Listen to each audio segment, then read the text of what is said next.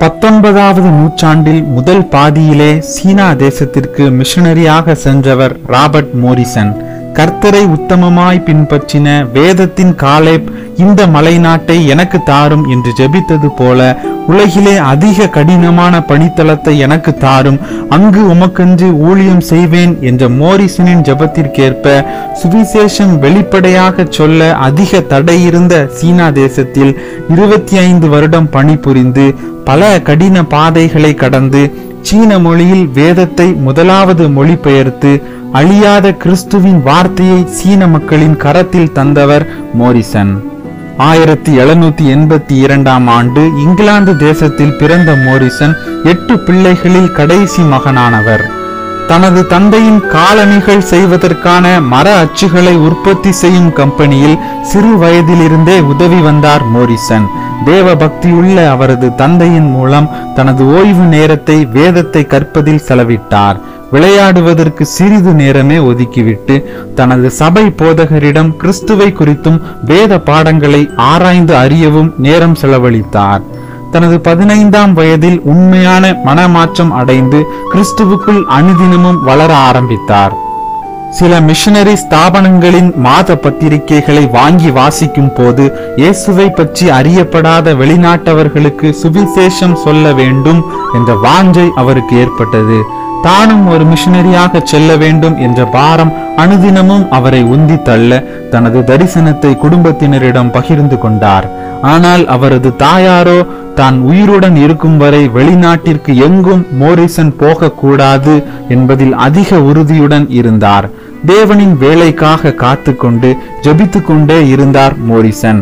அவரது இருபதாவது வயதில் அவரது தாய் அதிக சுகவீனப்பட்டு மறிக்கும் தருவாயில் இருந்ததால் தாயை அன்புடன் கவனித்து அவரது கடைசி நாட்களில் கூட இருக்க கிடைத்த வாய்ப்பை நினைத்து தேவனை துதித்தார். ஆயிரத்தி எண்ணூற்றி இரண்டாம் ஆண்டு அவரது தாயார் மறித்து போனார். தாயின் மரணத்திற்கு பிறகு இங்கிலாந்து சென்று ரெண்டு வருடம் மிஷனரி பயிற்சி பெற்றார். லண்டன் மிஷனரி சங்கத்திற்கு விண்ணப்பித்த போது இவரை தங்களது மிஷனரியாக ஏற்றுக்கொண்டனர். அதிக சந்தோஷம் அடைந்த மோரிசன் தனது குடும்பத்தினருக்கு இதை அறிவித்த போது இங்கிலாந்து தேசத்திலே ஊழியத்திற்கான அதிக வாய்ப்புகள் இருக்கும் போது அந்நிய தேசத்தில் போய் உன் வாலிப வாழ்வை ஏன் வீணாக்க வேண்டும் என்று சோர்வடையச் செய்தனர். எனினும் தனது ஊழிய அழைப்பில் மோரிசன் உறுதியாய் நின்றார். சீன தேசத்தை குறித்து பாரத்தை பெற்ற மோரிசன் அதற்காக ஜெபித்து கொண்டிருந்த போது லண்டன் பட்டணத்திலே சீன மொழியை கற்க ஒரு வாய்ப்பை ஆண்டவர் தந்தார். லண்டன் மிஷனரி ஸ்தாபனமும் இவருடன் சீனா செல்ல ஏற்ற சக ஊழியர் கிடைக்கும் வரை காத்திருக்க சொன்னது. ஆயிரத்தி எண்ணூற்றி ஏழாம் ஆண்டு வரை சரியான சக ஊழியர் கிடைக்காது போனதால் இவரை தனியாகவே சீன தேசத்திற்கு அனுப்ப தீர்மானம் எடுக்கப்பட்டது. கிழக்கிந்திய கம்பெனி இவரை கப்பலில் பயணம் செய்யவும் சீன தேசத்தில் குடியேறவும் அனுமதி தர மறுத்தது. எனவே முதலில் அமெரிக்க தேசம் சென்று அங்குள்ள மாநில செயலாளரான ஜேம்ஸ் மேட்டிசனிடம் ஒரு அறிமுக கடிதம் பெற்றுக்கொண்டு அமெரிக்க கப்பலில் சீன தேசத்திற்கு புறப்பட்டார். ஏழு மாத பிரயாணத்திற்கு பிறகு ஆயிரத்தி எண்ணூற்றி ஏழாம் ஆண்டு செப்டம்பர் மாதம் சீனாவில் உள்ள கேண்டன் என்ற பகுதிக்கு வந்து சேர்ந்தார். கேண்டனில் இருந்த அமெரிக்க கவுன்சில் இவரை ஏற்றுக்கொண்டது. ஆனால் கிழக்கிந்திய கம்பெனியினர் இவரை சந்தேகத்தோடு கண்காணிக்க ஆரம்பித்தனர். ஏனெனில் அந்நாட்களில் கிழக்கிந்திய கம்பெனியர் சுவிசேஷம் சொல்வதற்கு முற்றிலும் தடை செய்து வியாபாரத்தில் மட்டும் கவனத்தை செலுத்தினர். எனவே மோரிசனுக்கு சீனா மொழியை கற்பது கூட அதிக ரகசியமாக செய்யப்பட வேண்டியதாயிற்று. சக ஊழியர் கூட இல்லாதது அதிக தனிமையை உணர வைத்தது. வீட்டிலிருந்தும் கடித தொடர்பே இல்லாதது அவரை அதிகம் சோர்வுறச் செய்தது. தனது நண்பனுக்கு அவர் எழுதிய கடிதத்தில் நேற்று உன்னிடமிருந்து நான் பெற்ற இரண்டாவது கடிதம் ஆனால் இதுவரை நான் இருநூறு கடிதங்கள் எழுதியுள்ளேன். என் கடிதங்களை பெற்ற அனைவரும் அதிக வேலை பழுவினால் எனக்கு கடிதம் எழுத இயலவில்லை போலும் என்றார். சுவிசேஷத்தை வெளிப்படையாக பிரசங்கிக்க கூடாது என்ற தடை கேண்டனில் இருந்த போதிலும் மோரிசன் தனது நேரத்தை வீணடிக்கவில்லை. இரண்டு ரோமன் கத்தோலிக்க நண்பர்களை கண்டுபிடித்து அவர்களிடம் சீன மொழியை கற்றுக்கொள்ள சென்றபோது அவர்கள் ஒப்புதல் தெரிவித்த போதும் உமக்கு எங்கள் மொழியை சொல்லித் தருவதால் எங்கள் உயிருக்கு ஆபத்து உண்டு. அதிகாரிகள் எங்களை கைது செய்து கொடுமைக்கு ஆளாக்குவதற்கு முன் நாங்களே எங்களை மாய்த்து கொள்ள எப்போதும் விஷம் வைத்து உள்ளோம் என்றனர். இவர்களிடம் ஜபத்துடன் மொழியை நன்கு கற்றுக்கொண்டு முதலில் சீன அகராதியை உண்டு பண்ணி ரகசியமாக வேதத்தையும் மொழிபெயர்க்கலானார்.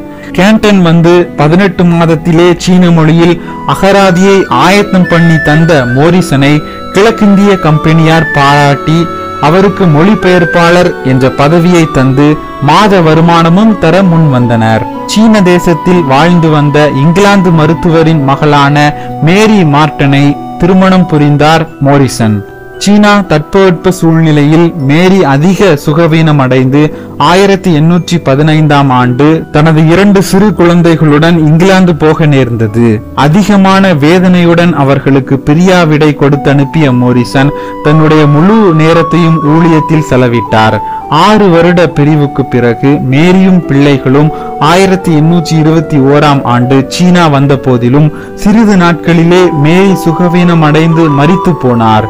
ஒன்பது வயது மகள் ரெபேக்காவும் ஏழு வயது மகன் ஜானும் மறுபடியும் இங்கிலாந்து தேசத்திற்கு கல்விக்காக அனுப்பி வைக்கப்பட்டனர்.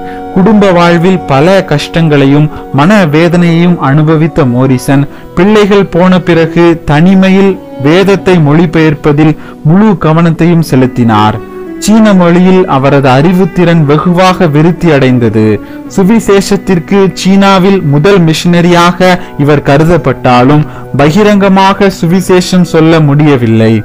ஊழியத்தின் முதல் விசுவாசி பட்டம் ஊழியம் ஆரம்பிக்கப்பட்டு ஏழாவது வருடமே கிடைத்தது. மனித நடமாட்டம் இல்லாத இடத்தில் சீன அதிகாரிகள் பிரிட்டிஷ் அதிகாரிகளின் கவனத்தில் இல்லாத பகுதியில் அவர்களுக்கு ஞானஸ்நானம் கொடுக்கப்பட்டது. சீனாவில் வாழ இடம் கிடைத்ததே கிழக்கிந்திய கம்பெனியரின் ஆதரவால்தான். கிழக்கிந்திய கம்பெனியர் இவரது சுவிசேஷ பணிக்கு அதிக தடையாக இருந்தனர். ஆயிரத்தி எண்ணூற்றி பதினைந்தாம் ஆண்டு சீன மொழியில் புதிய ஏற்பாட்டை மொழிபெயர்த்து வெளியிட்ட போது கம்பெனியர் மோரிசனை வேலை நீக்கம் செய்தனர். அதிக கவலையுற்ற மோரிசன் தேவனை பற்றிக்கொண்டு ஜெபித்த போது அவரது வேலை நீக்க உத்தரவு அமலாக்கப்படாமல் ரத்து செய்யப்பட்டது. மோரிசனின் சீன மொழி ஞானம் கம்பெனியருக்கு அவசியமாக இருந்தது. கிழக்கிந்திய கம்பெனியரின் அச்சுறுத்தலும் சீனாவில் இருந்த ஒரு சில கிறிஸ்தவர்களின் எதிர்ப்பும் இவரது ஊழியத்திற்கு அதிக தடையாக இருந்தது. எனினும் ஆயிரத்தி எண்ணூற்றி இருபத்தி நான்காம் ஆண்டு வேதத்தை முழுவதும் சீன மொழியில் மொழிபெயர்த்து வெளியிட்டார். இங்கிலாந்து தேசத்திற்கு விடுமுறைக்கு சென்று இரண்டு வருடம் அங்குள்ள பல பகுதிகளில் சீன தேசத்தின் தேவையை பகிர்ந்து கொண்டு அதன் மூலம் மிஷனரியாக வர முன் வந்தவர்களுக்கு சீன மொழியை கற்றுக் கொடுத்தார். சீன பெண்கள் மத்தியில் கிறிஸ்து அறிவிக்கப்பட வேண்டிய அவசியத்தை எடுத்து கூறி தனது வீட்டிலே ஊழிய வாஞ்சையுள்ள பெண்களுக்கு சிறப்பு வகுப்புகளை நடத்தினார். அந்த வகுப்புகளில் பயின்ற அநேகர் பின் சீனாவிற்கு மிஷனரியாக சென்றனர். அவர்களில் ஒருவர்தான் சீனா சென்ற மிஷனரி மேரி ஆல்டர். ஆயிரத்தி எண்ணூற்றி இருபத்தி ஆறாம் ஆண்டு மறுபடியும் சீனா வந்து கேண்டன் பகுதியில் தனது பணியை செய்தார். சில கிறிஸ்தவ இலக்கியங்களையும் சீன மொழியில் மொழிபெயர்த்தார். இங்கிலாந்து சீனா தேசத்திற்கு இடையேயுள்ள வியாபார தொடர்புகளுக்கு மத்தியஸ்தராக பணிபுரிந்தார்.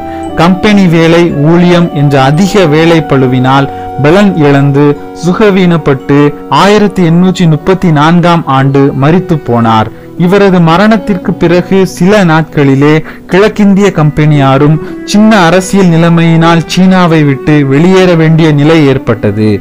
சீனாவில் இருபத்தி ஐந்து வருடம் கடினமாக பணி செய்தும் சிலரை மட்டுமே கிறிஸ்துவுக்குள் வழிநடத்த முடிந்த போதிலும் வேதத்தை சீன மொழியில் மொழிபெயர்த்து அழியா பணி செய்தார் மோரிசன்.